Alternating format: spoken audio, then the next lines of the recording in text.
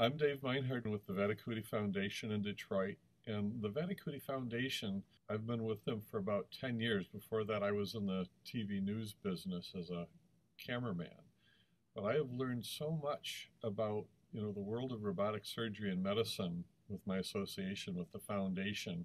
Uh, joining us today, we have our CEO, Dr. Mahendra Bhandari.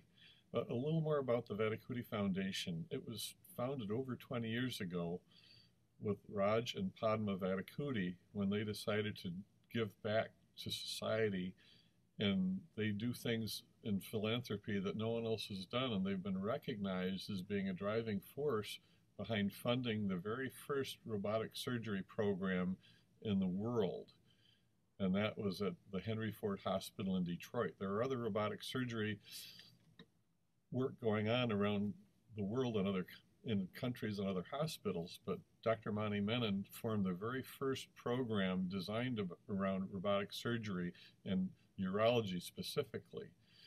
And thanks to the funding of the Vattikuti Foundation and the work of Dr. Menon and his team, they were able to develop the very first real successful use for the Da Vinci robots in urology for the robotic prostatectomy and it made things much better for men as far as recovering and with less scarring, a lot less pain, and it's then translated from not just urology to many other specialties that could also use robotics.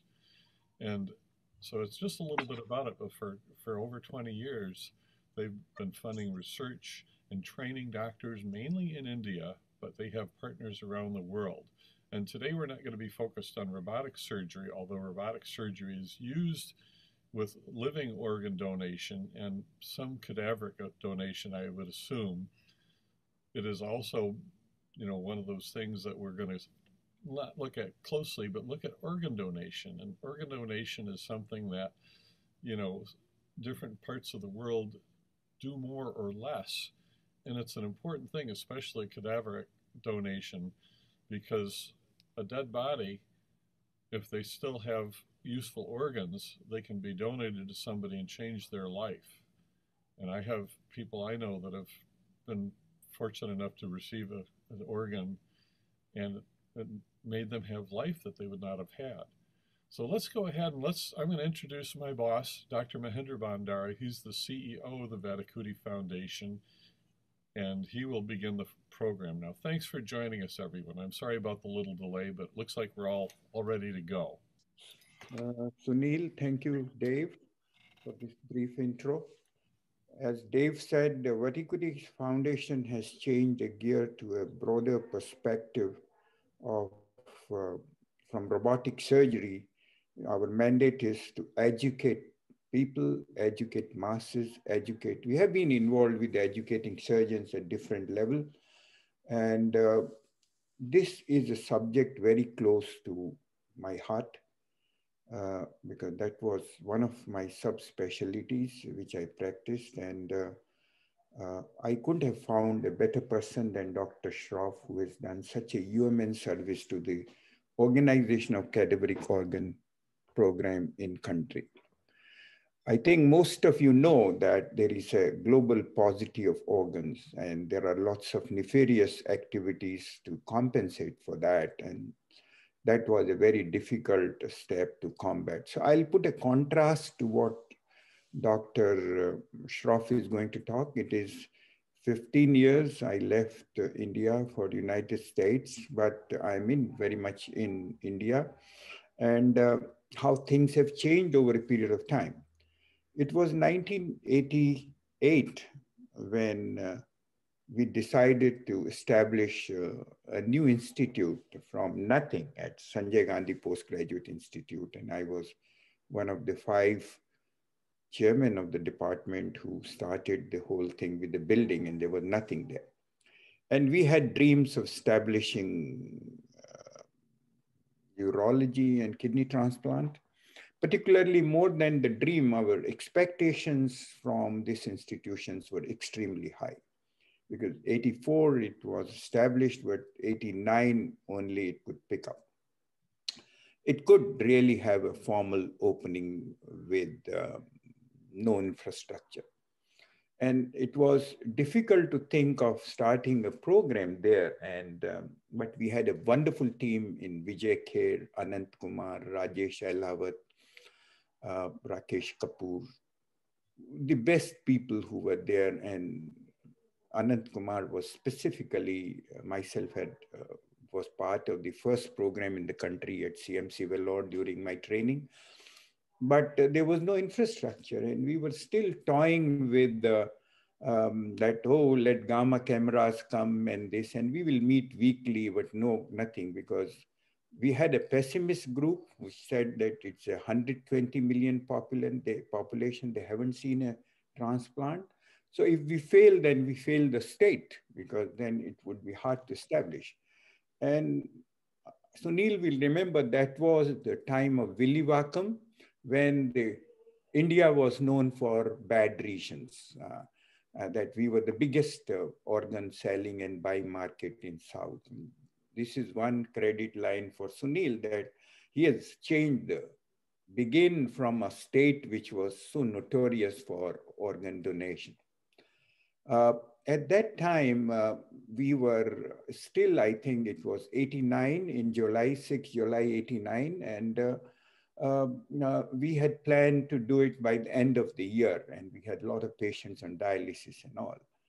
And I had been traveling a lot. So I came from Ahmedabad and went to operate. And as I did my first patient, there was a noise outside the operating theater that uh, somebody's dead, somebody's dead. And we didn't have emergency, so he was brought to operation theater and the anesthesia people revived a 19 year old man who had come to neurosurgery OPD from Kanpur to uh, get a ch checkup for head injury and he dropped dead there. And uh, we revived him, he was brain dead. Now, it's a whole long lot of story. There was no cadaveric law at that time. There was no law to take organs from the person, but uh, we had a will and we worked out the things and uh, we convinced the father, Anant Kumar took the lead of convincing the father and we took, and this was perhaps the first program in the country. We started with a cadaveric organ and uh, not fully prepared. And the, that set the ball for this. And thereafter, my mission was, I think I must have delivered hundreds of lectures promoting cadaveric organ transplant in the society, wherever it is. And then I learned that there are two places Indians learn. One of them is politicians and another is the religious gurus. So I went to religious gurus and explained to them whether they can find a parallel. And then let me tell you, it's a story of success as well as failures. We continued to try to get cadaveric organs from uh, the, because we didn't have a trauma center, but from King George's Medical University, but we were not able to successful. Only we did another um, two kidneys from another gentleman, uh, and that's it. So it was such a difficult time to give a context to what Dr. Shroff is going to present. Without wasting too much of time, I will let my good friend Sunil to take over.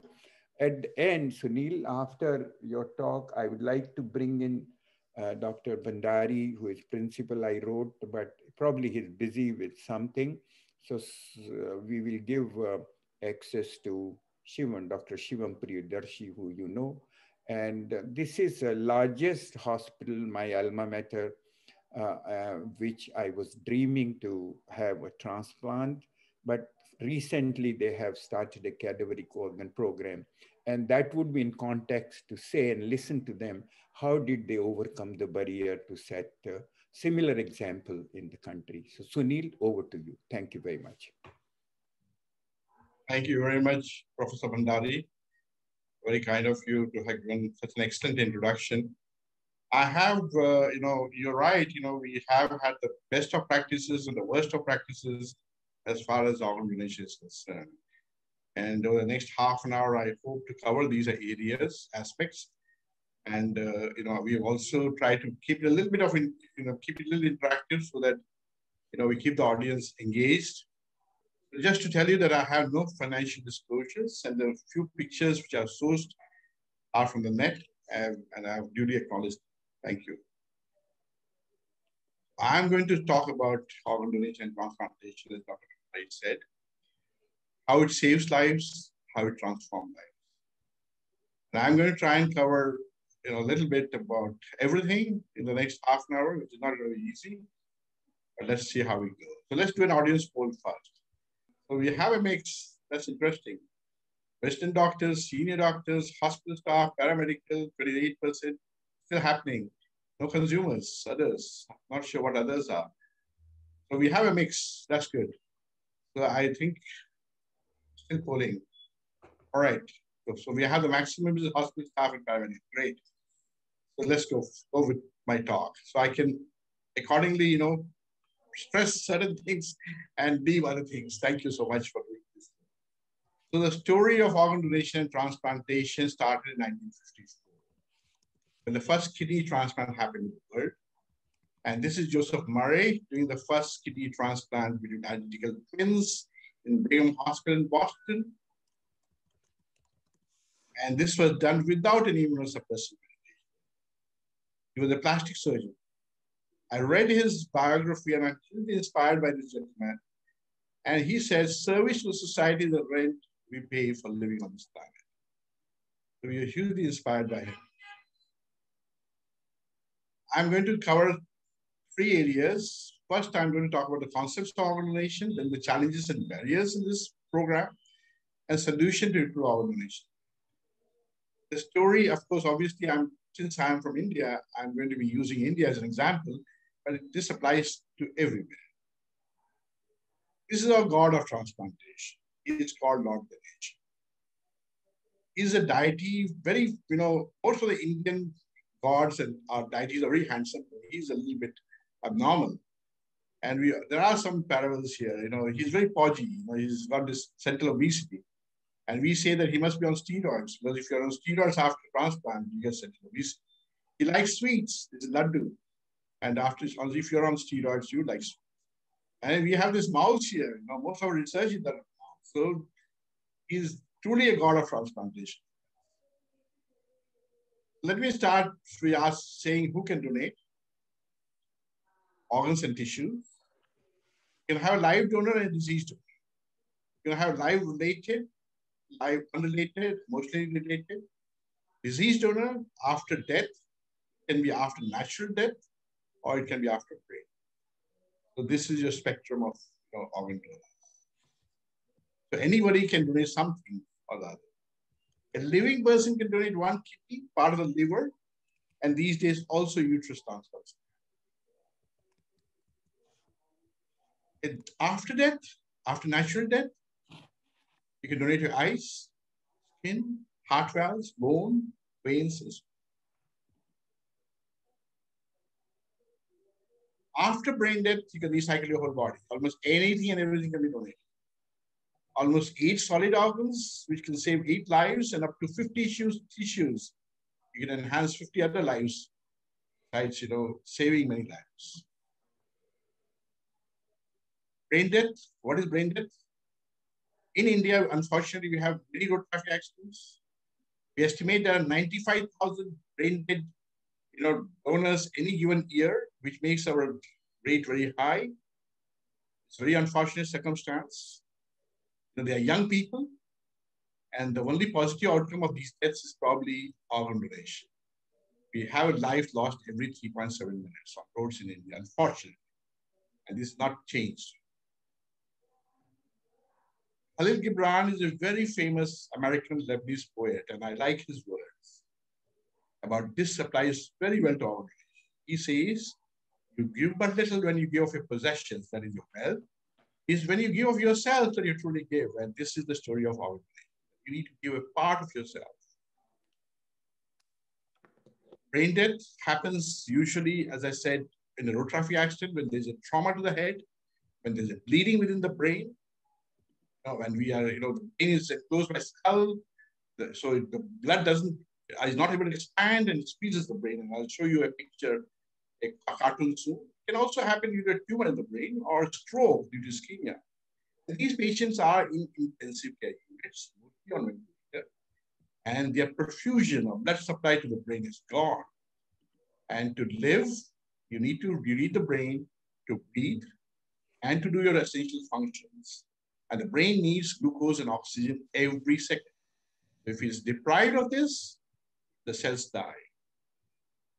This is a quick cartoon to show you what brain death is. So I want this concept to be very clear. So the brain needs constant supply of blood, as I said. So once there is a head injury, there's increase, bleeding happens and there's increase in pressure inside the brain and it strangles the brain literally. And it squeezes it to make it completely devoid of the supply. And as your lungs and heart are kept going, and this is what is brain death. This has happened because of intensive care, you know, has improved, and we have recognized this condition. This was recognized in 1958, 59 in Paris. It was called Beyond Coma, and in 1968, the Harvard Medical School came out with the criteria for brain death. In this situation, as I said, all the tissues can be donated, including composite tissues like hand.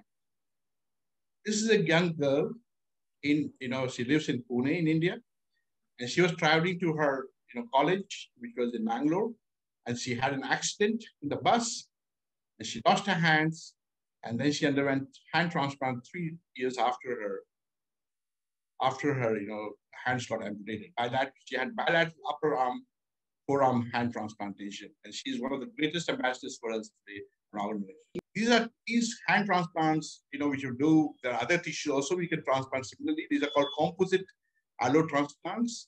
And they include muscle, skin, bone, vessels, and nerves in this case, in hand transplantation. So similarly, you can have face transplants, uterus, larynx, and you know, things like penis. These are another type of transplant which happens. If somebody wants to wish to donate the eyes of their loved ones, sorry, you need to keep the eyes moist, use a wet, wet cotton swab, keep the eyes closed, avoid using a fan over the body, contact the nearest eye bank, and it only takes 10 minutes for the doctor or technician to perform the procedure. Anybody can donate some organs. These can be donated, and these are all relative age groups. We've also had kidneys from 80 years old, 85 years old. So anybody from newborn to 80 years old, heart can be donated up to 60 years, lungs again up to 60 years, liver up to 70 years, and so on. So something can be donated by anyone, irrespective of whether they have diabetes, hypertension, or whatever. Anybody can donate. And really no age bar as such. After donation, the solid organs, the critical organs need to be transplanted in a very short time. Once you take out and to transplant within six hours, lungs, same thing with heart, four to six hours. Liver has to be taken out and transplanted within 12 hours. Pancreas, usually 24 hours. Kidneys can be kept up to 48 hours a night. So you can't store organs forever. They need to be transplanted. Tissues can be stored for long. If there is a death at home, what, you know, if you want to donate, one thing which you need to remember is you need to have a conversation with your next of kin, your family member. Because they need to give consent for organ donation when something untoward happens. There's a death at home, eyes or corneas or skin can be donated. If there is death in hospital, then you can donate after natural death. It's called donation after circulatory death. In natural death, that also is happening now, or after brain death, all organs can be. Our, you know, Rabindranath Tagore, who's a Nobel laureate from India, and he said something about, which is interesting to read. Death is not extinguishing the light, but putting out a lamp because the dawn has come. And this dawn is the dawn of organ donation. And I just want to tell you, why should you consider organ donation in your lives? In India on 26th of December 2004, we had this huge tsunami which killed almost 12,000 people, if it plays. Okay, it killed 12,000 people. And you will wonder why I'm talking about tsunami in this talk. Because every year, you know, we in India, we have almost 200,000 people who suffer from kidney disease. And, we, and many die, and we don't even talk about this. Not tsunami. I call it the kidney disease a silent tsunami, but it just doesn't give you any warning. It just comes and strikes you. Why this is so high? The kidney disease has gone up. It is estimated that even, even internationally, one in 10% will have some problem with the kidney. And many will end up requiring a transplant or you know some kind of replacement therapy. This is happening because there's an increased lifestyle disease incidence like diabetes. In Southeast Asians, diabetes is five times the rate of white population. Hypertension is very common, again, among the Asians especially. And this may be due to diet and also access to healthcare being very less as far as Southeast Asian country people are concerned. And there's an ever-growing requirement for transplant. This is a waiting list from US. And you see close to this is a waiting list for 2009, it's an old slide. Today the waiting list is even higher. We have a waiting list of almost 130,000 people waiting on our program. And we only do 28,000 odd organ transplants. So the gap is widening every day. And there are more and more patients waiting for transplants.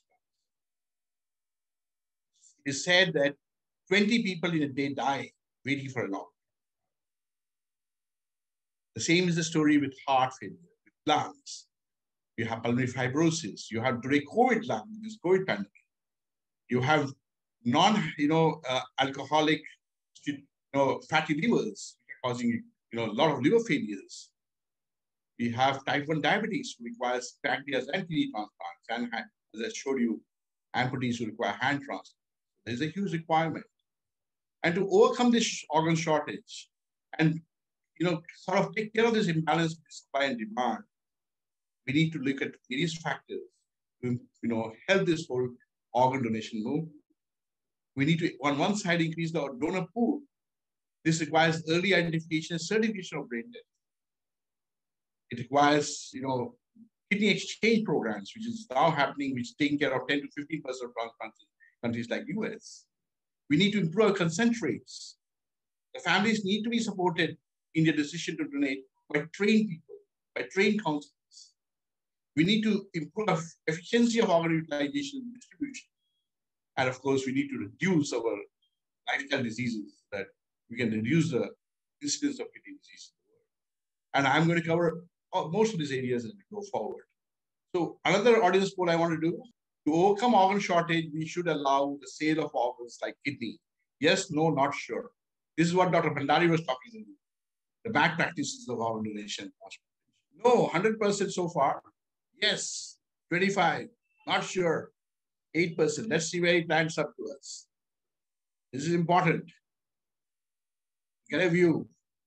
But there is today very many people, many even doctors who feel that we should allow sale of organs to take care of organ shortage. So there is a percentage of people here who, can we stop the poll, please? Let me go on to my presentation. Let me tell you what's the problem with sale of kidneys.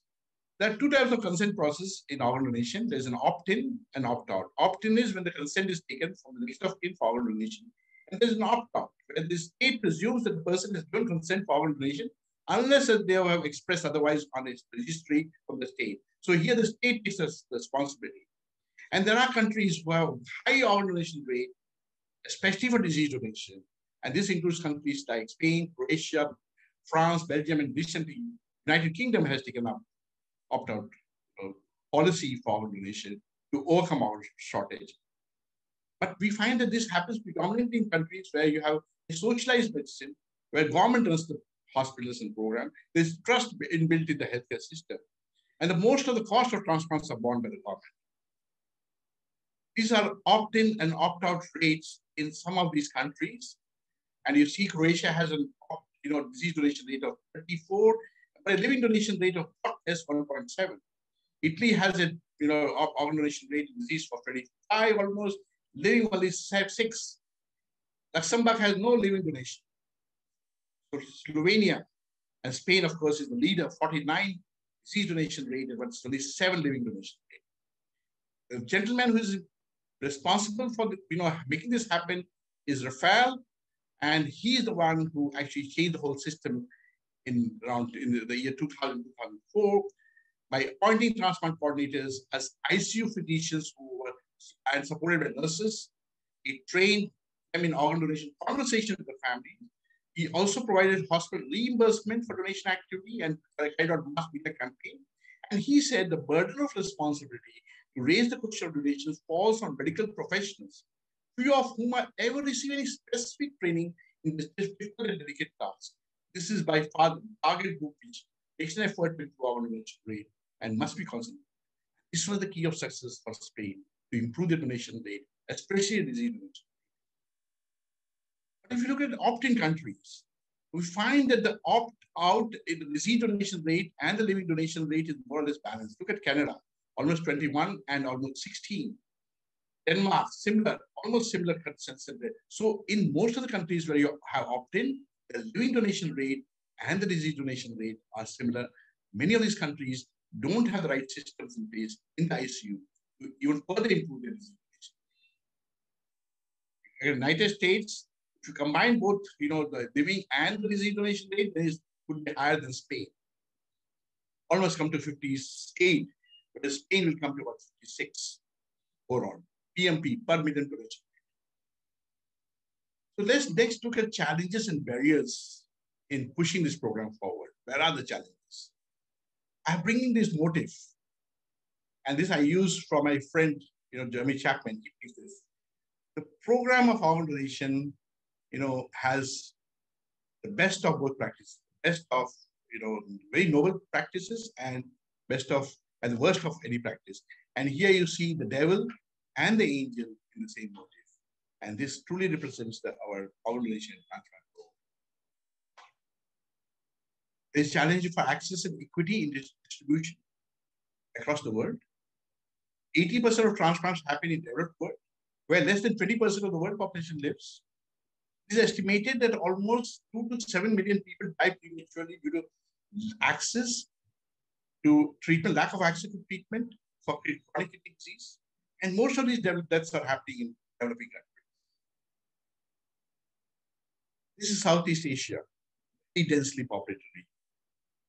It has now, you know, a, uh, a, a population of over 2 billion people. This is five years old slide. It is five times the population of United States. Heavily populated region and a very high incidence of kidney failure. If you look at the global observatory data on this, kidney transplant distribution across you know, various continents, the, most of the developed world has a high, have a high rate of transplants, whereas developing world, like Africa, Asia, Southeast Asian region, the Mediterranean region, Eastern Mediterranean region, they have a, all have a low donation rate. And this is where most of the population lives. The poverty index, the, you know, the development, human development index also is, you know, if you look at these Southeast Asian region, is linked to organ commerce and child. You have two kidneys. The populace, you know, take on this is one to care for and the other to spare. And because of this spare business, what has happened is with technology, with internet, social media, the whole process of organ trafficking is getting increasingly worse, increasingly difficult to control. This transplant tourism started in you know, India, and it is the mother of medical tourism. As Dr. Bhandari was saying in the 80s, Indian surgeons were highly skilled. The cost of transplant was very low in India. So the increase in demand of kidneys made patients, you know, coming from Middle East, patients came to India and bought kidneys for the poverty-stricken poor people. So very seldom that the rich donated to the poor, very, very few. And this is a study by Madhav Goyal, way back in 2002, which was published in the journal, American Medical Journal. And he surveyed 328 living kidney donors from Chennai. And 96% of participants sold their kidneys to pay off their debt you know, from the loan sharks. And the average amount received was only 50,000 rupees or about $1,000. And look at this 75% of donors were still in debt at the time of the survey, despite having received the money. That's, this didn't do enough for them. And the conclusion was after nephrectomy, the average family income declined by 33%. 86% of donors reported deterioration in their health after nephrectomy, and 79% would not recommend others to kidney. So I ask this question very often. What should it actually cost to purchase a kidney? What should be the true value? If you really want the market forces to decide the value of the kidney, what should it be? The only equivalent you have is, you know, dialysis. So a normal lifespan of a transplant kidney averages, let's say 10 years. And if you were to equate the cost of kidney to the cost of dialysis, let's see how it goes. How much will work out? And then you know that at least this is the value of if you wish to purchase a kidney on an international market or whatever.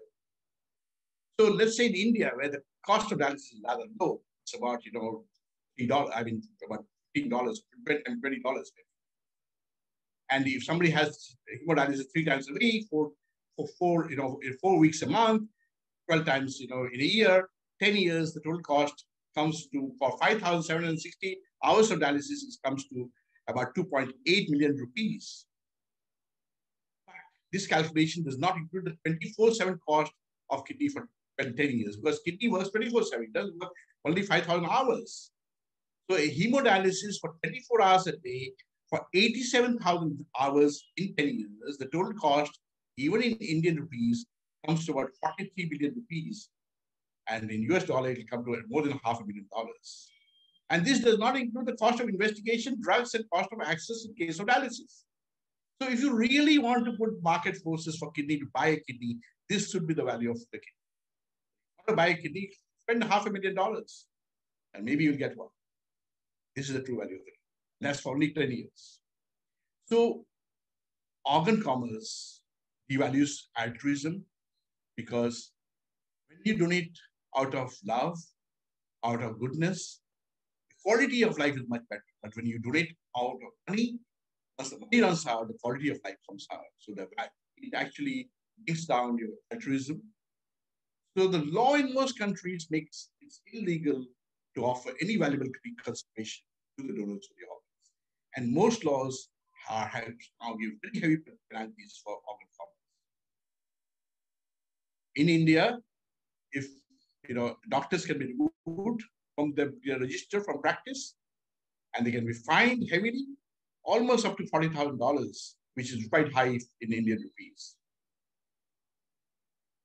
So, what are the barriers in the society to organ donation? The first issue is religion and cultural barriers. Mostly, this is problem is that organ donation today doesn't happen because many people think it is against the religion and the culture. The second problem is mistrust in the healthcare system, especially where private healthcare flourishes. A country like India, where 90% of transplant happens in private And there is a misconception about brain death not among the public, but also among the doctors. So let's skip this since we're be a little short of time. I'm asking, is religion a barrier to organ donation? Okay, carry on. 10 seconds. Is religion a barrier to organ donation? What do you think? So yes, no, okay. Let's answer this question.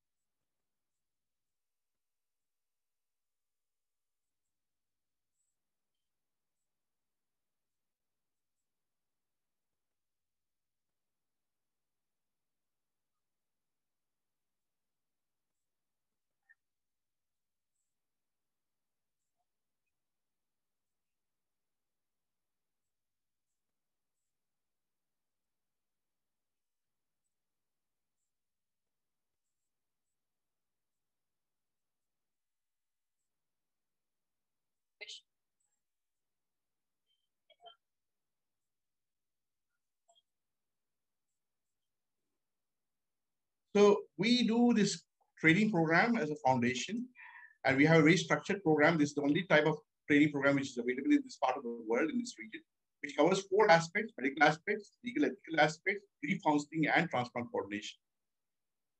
And we started this in 2009. This is, you know, we've trained about 2,600 odd transplant coordinators.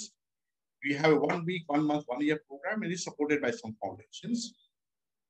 We also have one year program, which has many modules, video lectures, contact sessions, field visits, and so on. And we have an online, you know, e-learning offering. And so far, we've trained online one-year program, 203 from India and 15 from overseas because it's so, you know, well priced, just priced at about $200 for the whole year. And these e-learning courses are available on our, on our site.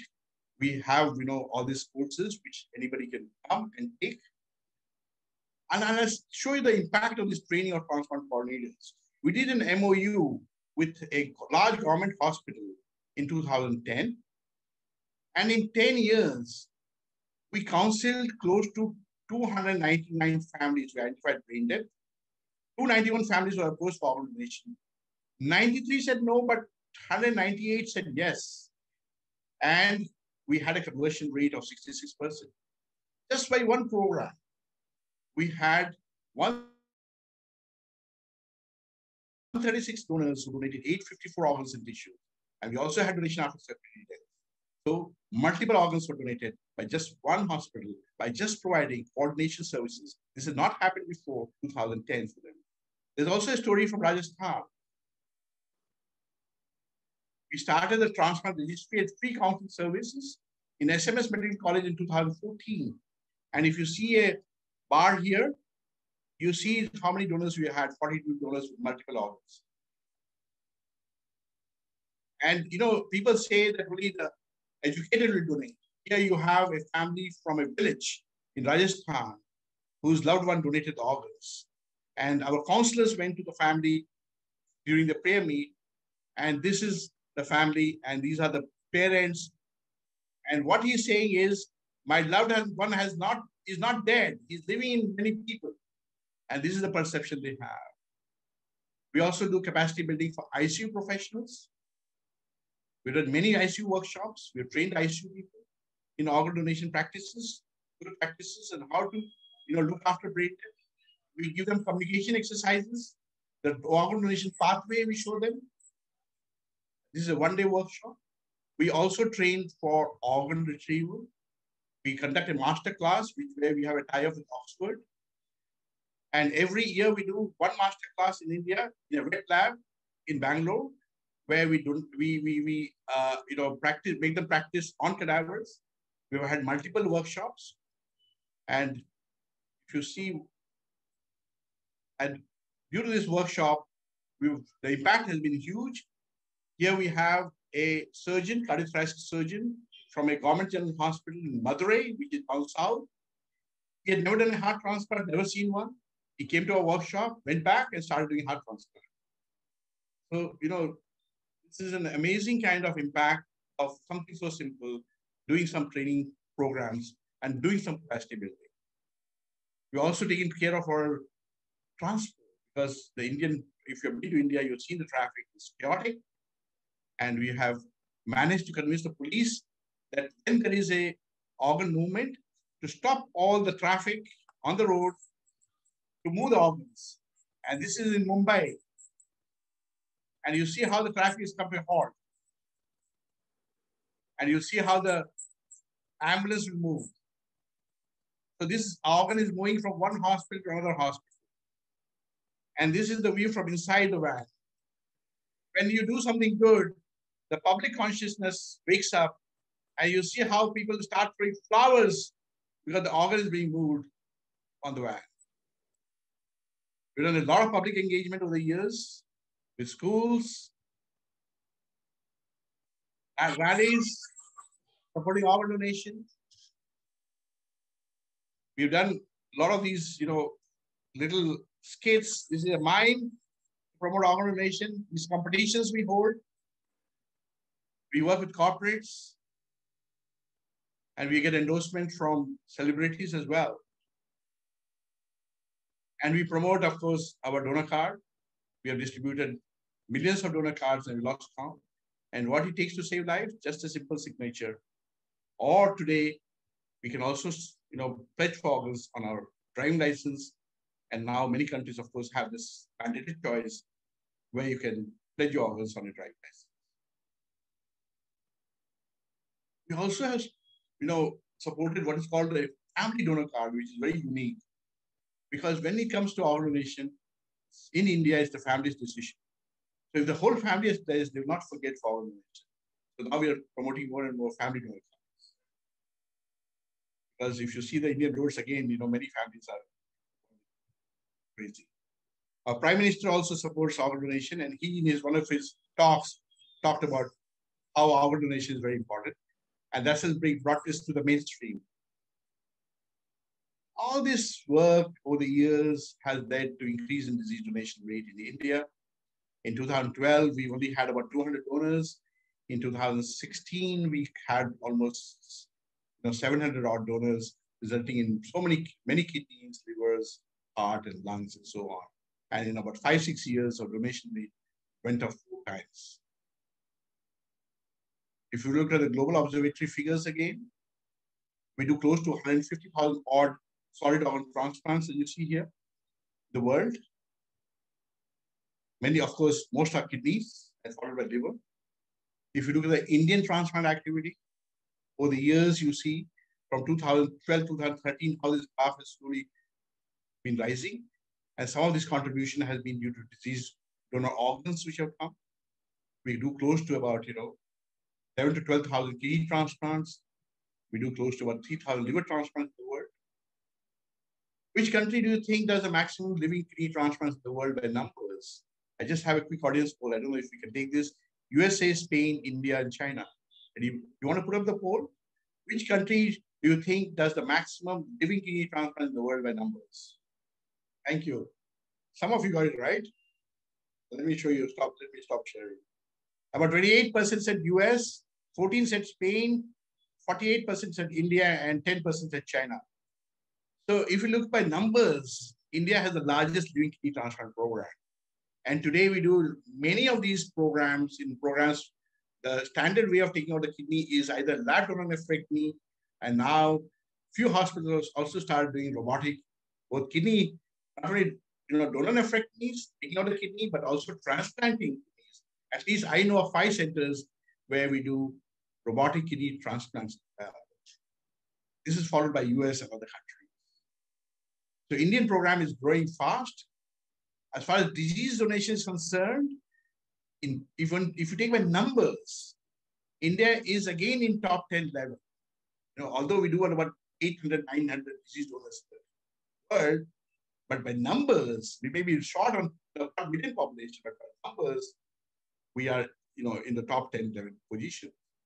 The liver transplant program, in living liver transplant, India does the maximum living liver transplants today in the world. If you combine deceased donor and living, and then of course, India is only third, US is the that's maximum. This is a map of India. Green is the color of organ donation. I'm wearing a ribbon which is green, and this represents organ donation. Many of these color states are now turned green in the country. Many more are left to turn green. Today we have close to about three to four multi-organ deceased donation happening every day. Many NGOs are promoting this program. Not only this, but they also promote corneal donations and blood donation. And if you look at the corneal donation rate in India, 96 families donate corneas for their loved ones. They ring the hospital or they ring the you know eye bank and say, please take the corneas from your loved ones.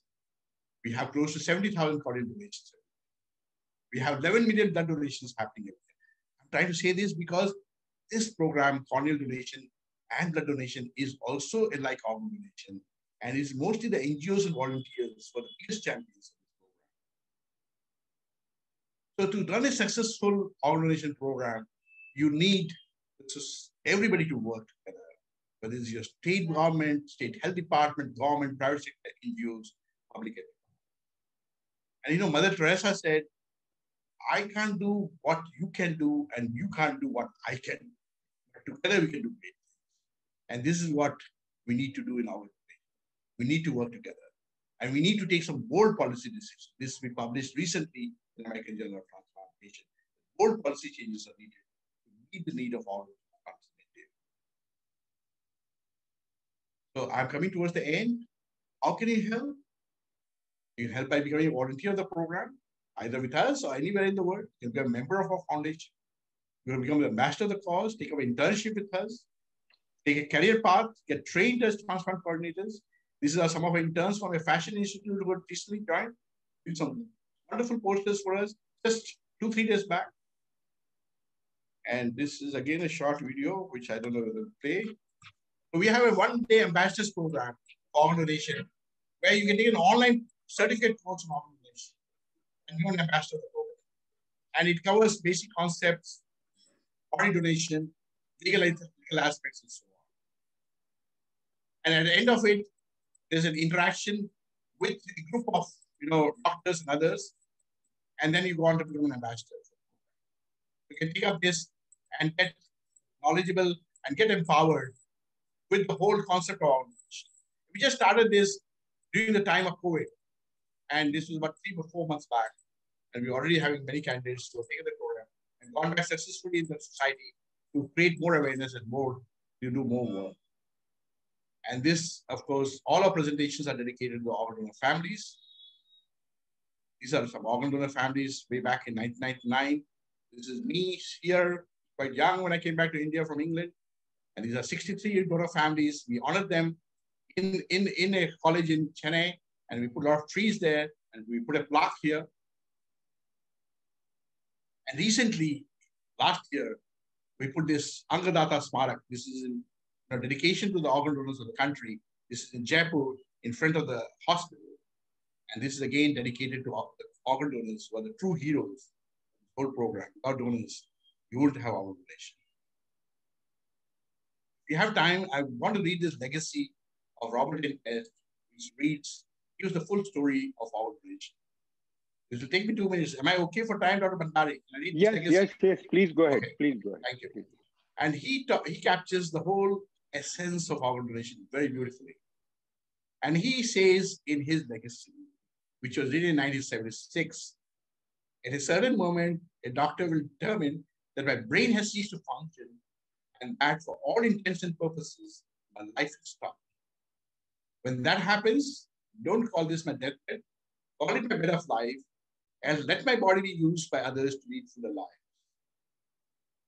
Give my blood to the teenager who has been pulled from the wreckage of his car so that he might live to see his grandchildren play. Give my eyes to a man who has never seen sunrise, a baby's face, or love in the eyes of a woman. Give my kidneys to the one who depends on a machine to exist from week to week. Give my heart to a person whose own heart has caused nothing but endless days of pain. Explore every corner of my brain, take my cells, and let them grow so that someday speechless boy will shout to the crack of a bat, and a deaf girl will hear the sound of rain against her window. Take my bones, every muscle, every fiber, and every nerve from my body, find a way to make a crippled child walk, burn what is left of me and scatter the ashes to the winds to help the flowers grow.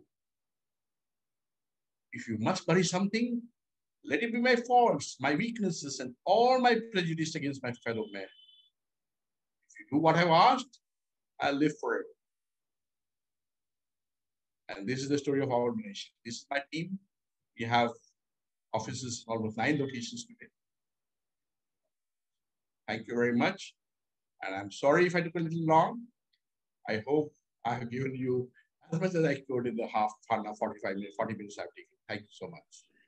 Thank you, Sunil. Um, uh, incredible work. Congratulations to you and Mohan Foundation.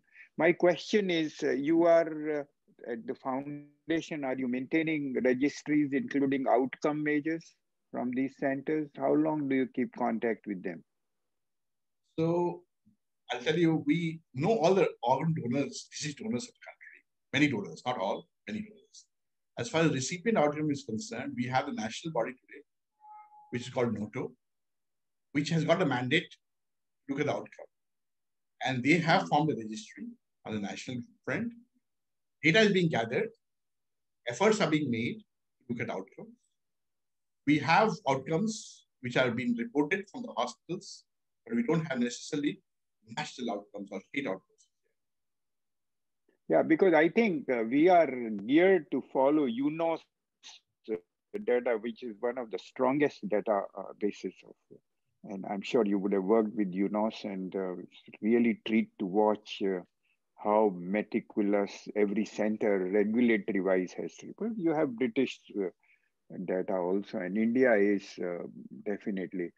now, I think um, um I would um, let Shivam come in and uh, give his comment. Thank you, Shivam. I'm sorry that uh, Dr. Bhandari could not make it, but uh, nonetheless, Dr. Shivam Priyadarshi is professor and head of Urology Research Center, which is uh, at my alma mater, SMS Medical College, Jaipur, one of the largest hospitals, 6,000 beds or something.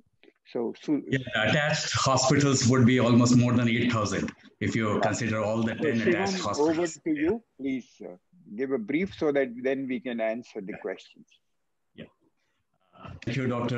Mahendra Bhandari. It is real uh, privilege and honor to be uh, here today.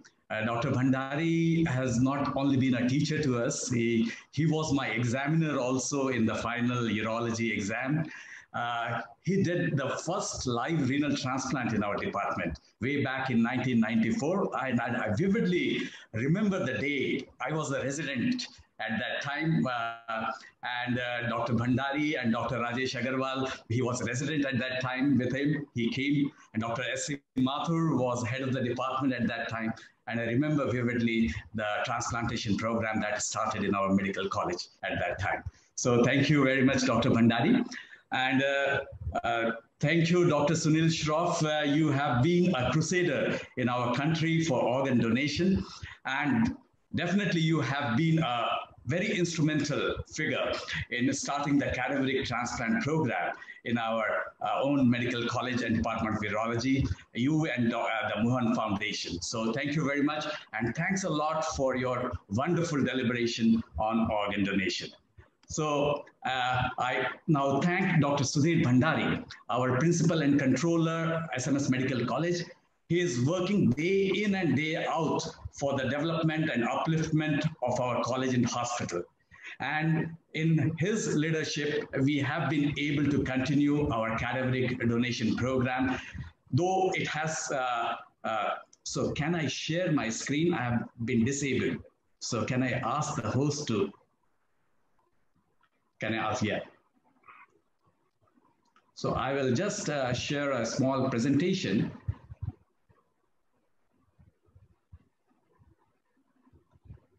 Uh, this presentation is on behalf of our uh, principal and controller, uh, Dr. Sudhir Bhandari. Uh, we know uh, there is an acute crisis of organs in our country. There's a discrepancy between the need of organs and the transplants uh, done in our country today.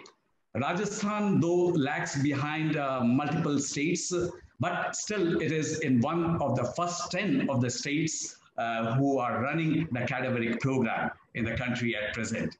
So we started our, our cadaveric transplant program in February 2015 uh, with uh, help of the political will. The government really was bent upon starting the cadaveric program.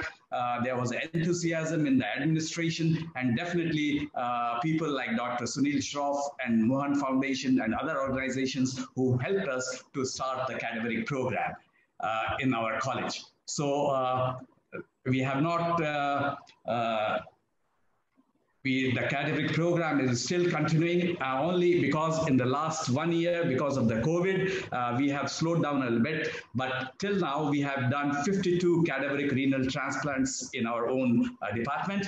Uh, we have started even uh, liver transplants and cardiac transplants. So the credit goes to the leadership of our principal and controller, Sudhir Bhandari, who has initiated this liver transplant program and cardiac transplant program in our medical college, the first time in the state. So uh, there have been a lot of challenges uh, in the process of starting this cadaveric transplant program. As uh, Dr. Sunil Shroff said, there, the main issue is the religious and cultural background, which creates a, a kind of a reluctancy uh, to the relatives to donate organs of the deceased donor. And besides this, there were many ethical, moral, financial, and administrative issues that had to be overcome. So uh, we had overcome uh, the bureaucratic barrier uh, by taking a lot of initiatives, by uh, creating, uh, by minimizing these hurdles, by again uh, creating a lot of new things, the waiver of NOC, single table clearance, and the creation of the green corridors. And then it involved a lot of training also, training of the doctors, our surgeons, physicians, and awareness amongst uh, not only masses, but also uh, we had programs in schools and children going on, and definitely the NGOs, which came to our support in a big way. So the stakeholders involve not only the donor, uh, the recipient, the doctors in the hospital, but it also involves the, the traffic police, the CISF, the airlines, the airport authority, police, etc., who are actually helping us to create the green corridors for transporting the organs in our own medical college, we established the SOTTO Center in the in 2019 in our academic block in SMS Medical College, and it is one of the best and state-of-the-art center uh, in our place. So under the leadership of our principal, we have been able to achieve a lot in last few years. We have been able to donate excess of bodies to our own our different medical colleges in the states we have been able to save more than 130 lives by transplanting uh, the organs from cadaveric donors. Uh, we have been able to create awareness amongst the masses by uh, having more than 10,000 donation pledges. Uh, I remember as a secretary of the North Zone Urological Society of India, in every conference and meeting, we used to have a donation pledge and we had to use we used to have some kind of program for cadaveric donation so uh, in last two, three years, uh, we have been able to initiate the liver and heart transplant program also in our medical college. And being a state government hospital, the cost of surgery is minimal. And the availability has also been increased in last few years. There have been a few suggestions from our side to the state government that organ donation should be a part of the medical curriculum. And there should be a compulsory sharing of information about death in ICU. There should be a centralized list of recipients among city hospitals. And there should be a health insurance coverage to the at least two family members uh, of the relatives of the deceased who have donated. There should be a streamlining of the system of unclaimed body donation. The government hospital should be given priority in receiving the organs uh, swap transplantation should be encouraged, and the close relatives of donors should get priority over others. So these were a few suggestions, and this was our short journey. It's still miles to go, but uh, this small, challenging journey is the reward that we have got. So I thank you for your patient hearing. Thanks a lot. Thank you, Shivam.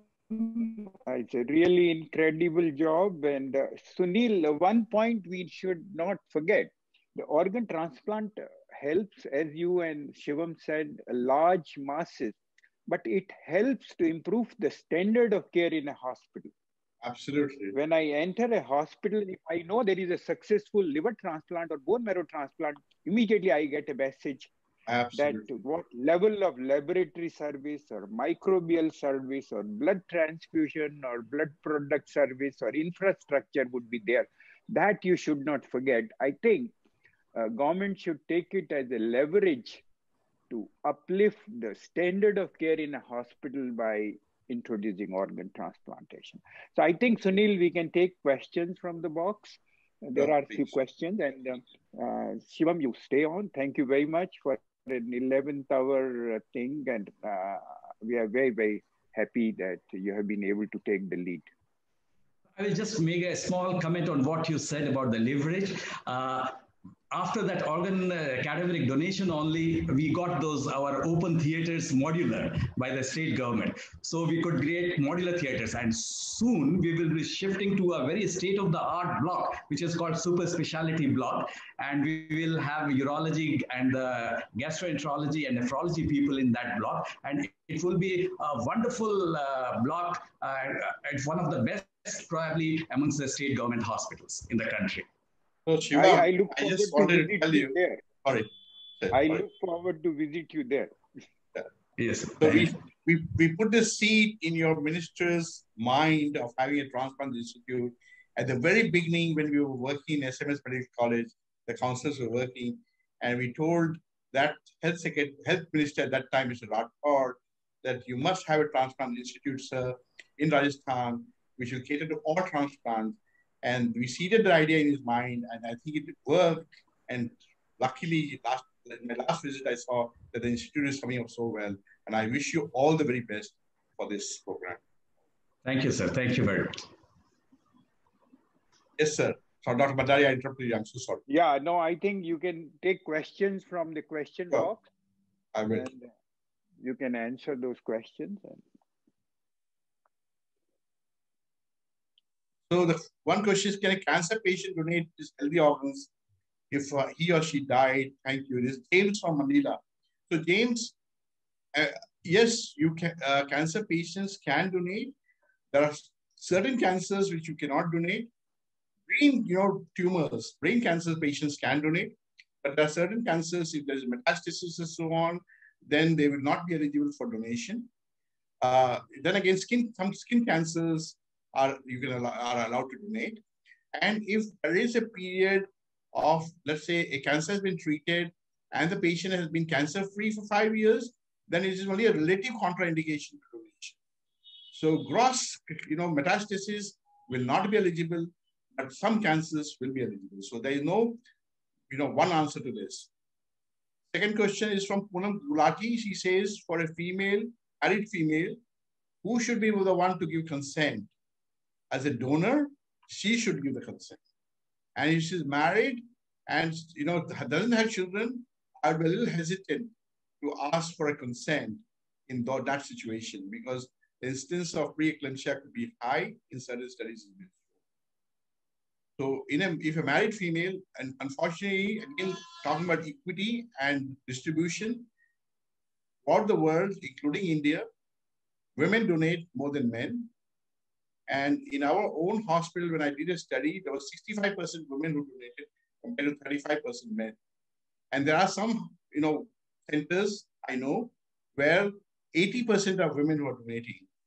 So when a married woman is donating and gives a consent, a counseling is required, a support is required to make sure there's no coercion, there's no pressure on that women to donate. You know, unfortunately, that is the situation. And we need to change this gender you know, distribution of equity in transplantation.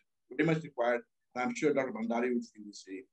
Dr. Bhandari, would you want to say something on this? Yeah, I would like you to really elaborate and discuss this point because this always we face that this male chauvinism, male's family, invariably the husbands don't agree that the wives give donor uh, organs. They are grown up they are independent. They, there should be gender equality to the father or the sisters. I think you, I would like you to use this platform to say that males should stay within their rights of the Indian constitution, that females have a right, and they should really accept it because um, how the spousal donation is welcome if the, so, the, the, the, the, the, the, the most intimate donor is the wife and they gladly accept.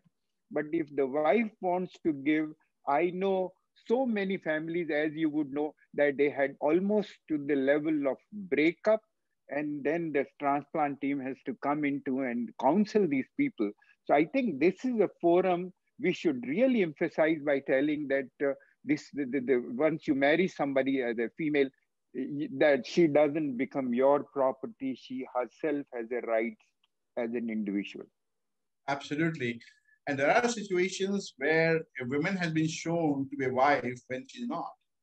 Just it's a marriage of convenience. To show her as a wife. And sometimes marriage happens because of convenience to get a transplant. And we have to be very careful, especially in this program where there's such a huge kind of discrepancy and the gender imbalance that this exploitation doesn't take place.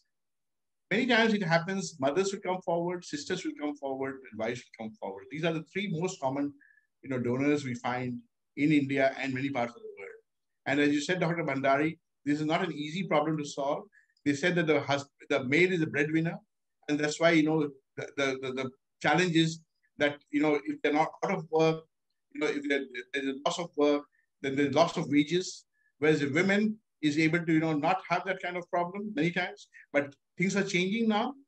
With you know now things are changing, and especially with you know access of you know the surgery itself being minimally invasive, lap donor nephrectomy has literally I think 80% of you know transplants today done in India at least and many other parts of the world are done by the minimally invasive scars. So getting back to work is not a challenge anymore. So we need to look at really addressing the gender imbalance in this program, you know, to overcome this gender imbalance. is not going to be easy. It will take time, I suspect. But I also want to put one point forward out of Bhandari here. I don't know, somewhere God, you know, plays his own games. When it comes to deceased donation, 76% of deceased donors are men. But they're the people who die in road traffic accidents to donate. I know this is not the yeah, I don't know. How, I'm just saying somewhere along the where you know God sees it and says, okay, I'm going to correct it in my own way, perhaps. You know, it's a very silly answer to give, but I'm just saying that there is a huge gender imbalance in this. See, I think, uh, Sunil, uh, I would like to narrate a brief personal experience which really made me gender equal advocate that when i was doing my urology in 72 at cmc vellore the transplant program was new in a, in a dialysis unit we were following a potential donor and he was end stage uh, disease guy and the parents would talk to me and suddenly he was doing well and they wanted two days leave to go to uh, Tirupati and we couldn't say no. They come back and get a dialysis done. And this guy comes and when I go on the rounds, I see a newly wedded bride standing there.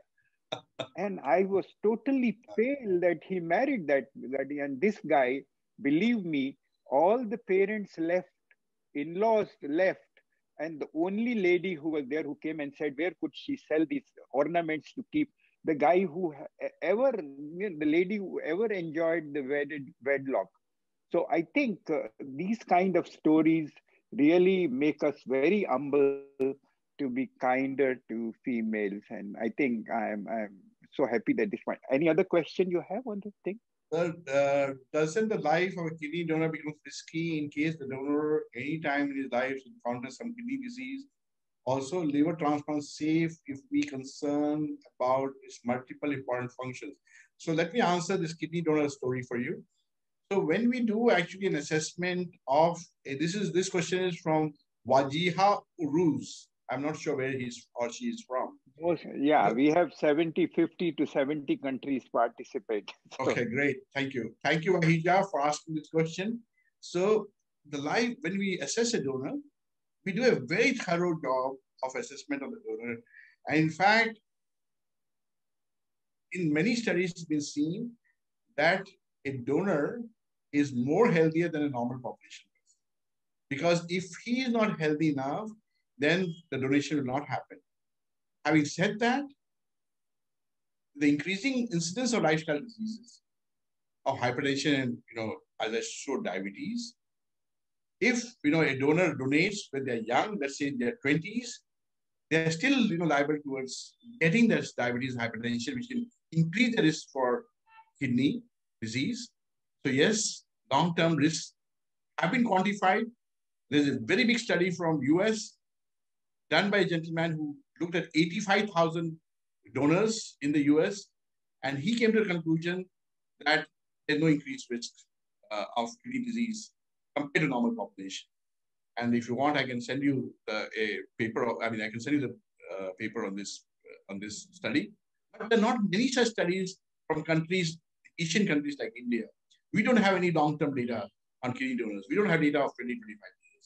Because once somebody donates, very difficult to follow them up. So that's why it is so very important that there should be more deceased donation, whether this risk to a living donor is a little less. Again, I must emphasize, a donor is thoroughly investigated, and in our best of ability, we try to make sure that only healthy people are donating to a person who requires a kidney. The second question is that liver transplant safe? Yes, living liver transplant has its concerns, and there is a higher mortality among living donors. And many, many countries like US, many programs have been suspended because they've had donor deaths, which is unacceptable because a donor is not a patient. A donor is donating out of love and altruism. And as a doctor, you know, when I take my Hippocratic oath, I say that I will take care of the sick, not necessarily of a healthy person. Yes, there are some risks for a liver donor, but you need to discuss those risks. What we find is when a adult donates to a child, where only the left lobe of the liver is taken, then the risks are very, very big. So that is the best kind of combination. And we have, you know, biliary cirrhosis in young kids who require liver transplant. And many times the mother gives a part of the liver and it goes beautifully well. So again, you know, it requires a little bit more discussion. And so this is my answer to you. Uh, what is the main challenge of organ donation in COVID-19 condition? So this question comes from Yash Jaiswal. So in COVID-19, the donation rate in India has come down almost less than half of what we used to do. We do on an average about, you know, eight to 900 donations in a year. In 2020, we only did about 350 to 400 donations. So we have had a lot of challenges because hospital beds have been filled by COVID. And to do a transplant in a COVID patient, to do a transplant even in a normal patient, we have to do an RT-PCR test. We have to make sure that the donor and the recipient are negative for COVID before we actually can transplant them. And this test needs to be repeated immediately before transplant, needs to be done twice. And you know there are risks, of course, uh, to the staff as well. You know when we're taking care of certain all these transplants, because as you know, the COVID COVID can be a very silent kind of uh, you know infection as well. You know some patients may not even have the symptoms of COVID, but they still may be carrier. So COVID is very challenging. Every country is finding finding this uh, very challenging. It's not an easy, but we do have guidelines which have been published on our website, on the ISOT website, on the national websites, and on the American websites if you want to do a transplant during COVID. That answers some of these questions, Dr. Bhandari. Yeah, yeah. Uh, uh, let's take advantage of Shivam being here. Uh, Shivam, uh, one point I want to clarify through this platform. As Sunil said, that donor globally is taken as a zero tolerance surgery. It's not acceptable that donors should have, you know, even that 0.003% mortality globally. Uh, can you assure the potential donors that uh, how do you really assure them that because this is a common question to the family that uh, whether uh, donor would be safe or not so, uh, yes, definitely we need to counsel the family. And usually, what we say that, see, uh, there are so many people who are born with one kidneys and they are born with one kidney and they live their life totally comfortably and without any problem. So, uh, it is uh, not a great uh, risk to uh, donate a kidney. So even if you have one kidney who, which is very healthy kidney, uh, there is almost a very good chance that you will live your life uh, uh, almost the same way. So uh, this is the usual counseling that we do. And uh, definitely the studies have also shown. And so we, uh, if there is a, somebody who is educated, we will just tell them about the studies which show that it doesn't make much of a difference, a very, very minor difference if one donates one kidney and uh, lives without if if he doesn't have any other comorbidity if the, the patient is perfectly healthy otherwise then definitely it doesn't make much of a difference so this is the way usually we counsel so thank you shivam and i think Sorry, yeah, Bhandari, we have an international any, consensus statement by Amsterdam Forum where we put a yeah. you know consensus on who can donate and who can't donate. It's a very well kind of you know published document, and many yeah, of us we, we were those, part those of it. We were part of that, and we were part of that Lisbon also, the International Transplant Lisbon Society. also. And KDIGO, KDIGO as well in US. So we follow those guidelines even in India. Yeah, yeah, I know. Yeah, yeah, I was. Thank you very much, uh, Sunil. Uh, if there's nothing, I'll give it back to Dave for thank you, Shivam, for showing up. And you, it was a wonderful you. discourse. Thank you, Shivam. Thank and uh, Thank you. Dave, Thank you back very to you. Thank you, Dave. What a what a an exciting program to see. I've long been a kidney or, or, or organ donor advocate. If you can see my driver's license, I have my heart in the corner of my driver's license. And so I want to say I'm also a blood donor. I've Wow, donated well done. 13 and a half gallons. So I, I agree. I I do have you know, one short video I would like to show just to give our audience an idea of what it's like to be in an operating room when an organ is donated. I was I videoed this about five years ago. So if I could show you this, it's only a minute long. And it's called RKT in a minute. This is a robotic kidney transplant. Kidneys in the room.